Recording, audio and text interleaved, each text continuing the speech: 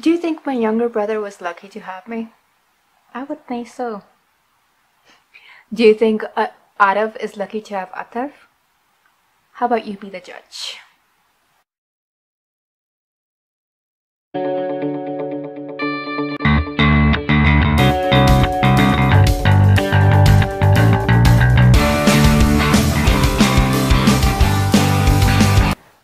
Hi, welcome to Grow with Kids, where we talk about raising children and traveling with them.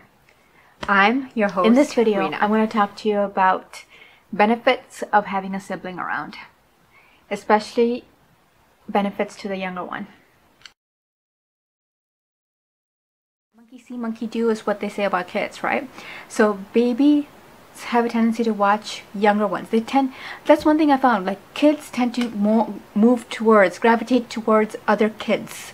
So my younger younger son gravitates towards his older brother, and he copies and does it tenfold worse or more. I don't know how you want to say it than Atharv does. So if Atharv is screaming, Arav would scream a lot more. If Atharv is angry, Arav would be angrier a lot more. If Atharv decides to throw things, Arav would throw a lot harder and a lot more. So you had the whole thing. It was like, it seemed like a competition between the two. Younger kids watch their olders, older siblings running around, roaming, and doing things. So they have a tendency to learn to move a lot faster. So I don't, uh, I don't know if you've noticed that your older son, might, uh, your older child might have learned to walk at the age of 13 months, while your younger child might have learned to walk when he was eight months or she was seven months.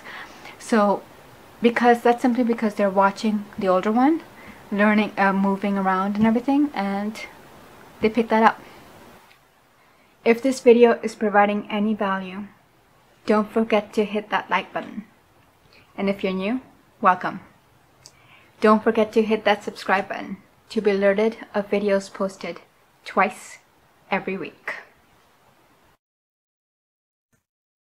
ever have to worry about your baby not getting enough attention, your younger one not getting enough attention.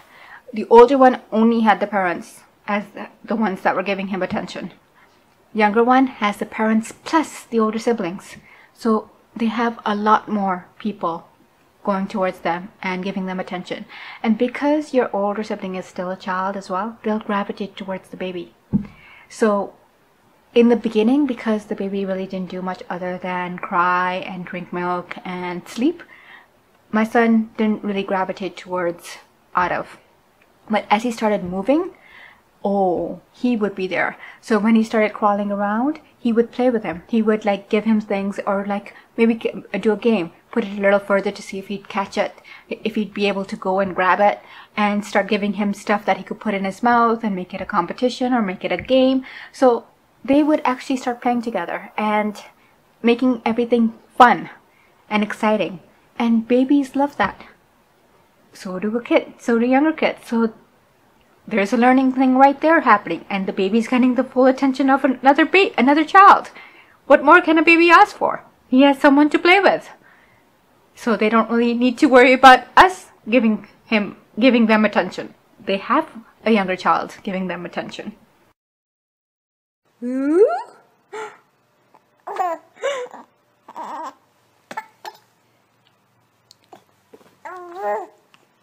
चलो डायपी change करें हाँ डायपी change करें या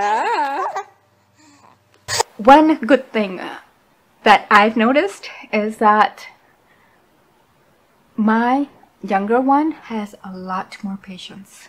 And I have a I have a feeling it's because of the older one because you have to first take care of the older's need older one's needs and then get to the baby. I think he needs that to be able to handle the older one as well because you're gonna get the older one telling him off or screaming and shouting at him, calling him names, everything that you could find two kids fighting over. You'll get that between the two siblings. So I think the younger ones already learn patience and to just stay calm in any environment simply because they they're learning that from the older one. The older one never got that because they already used to get everything. they ne- they didn't need to wait for anything, and because you were inexperienced, so you were scared that you would do something wrong with the older one. But the younger one, like, oh yeah, the older one got over it, so the younger one, you don't have to worry about him. So, like for example, uh, put the child down on the floor. It's like, oh, he's not going to get any germs and just finish up all of that. And if he's uh, crying a lot, oh, he needs to learn how to cry rather than just running after him. What's wrong? What's wrong? He's crying so much. So little things like that. With the older, with the younger one, you don't worry about that because you've already had that experience with the older one. So you know that nothing's going to happen to him as long as you obviously stay a little safe, but nothing's going to happen to him and he'll be totally fine. Where sometimes I'm not able to understand what Arav wants, and then you would hear Atharv scream from the other room, Arav wants this, he's asking for this, or he means this. And I'm like, okay, is that, then you ask Arav, is that what you mean? He's like, yeah. I'm like, okay, I didn't know that. So we have a translator. It's like their own baby language, their own kid language. They tend to know exactly what they want. I think Atharv might not want the baby crying, or he might not want you paying so much attention to the baby. I don't know. But uh, you have the general translator. Atharv will say exactly what Arav wants. No worries. That's exactly what he wants. And you give it, and it's, it's all good and happy. You just want to make sure that he doesn't translate later on in life either, because then that won't be good. For either of them.